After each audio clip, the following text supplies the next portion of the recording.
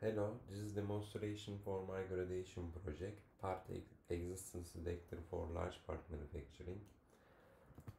In this project, autoencoder anomaly detection model was developed using a synthetic dataset. Autoencoder is trained on non-normal images and it learns what a normal image should look like. For detection part, we generate a residual map by subtracting the reconstruct image from the original one.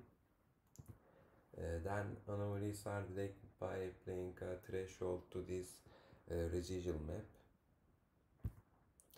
Now let's try to model with sample normal and anomaly images. Uh, we can trade with normal images first.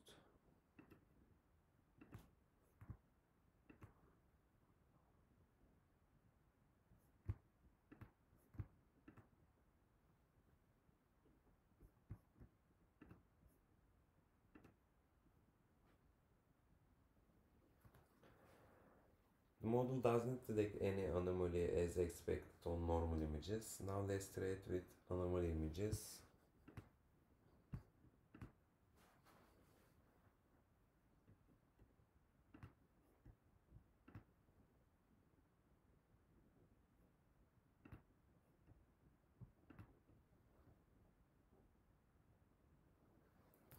As we can see, the model successfully detects anomaly areas in samples.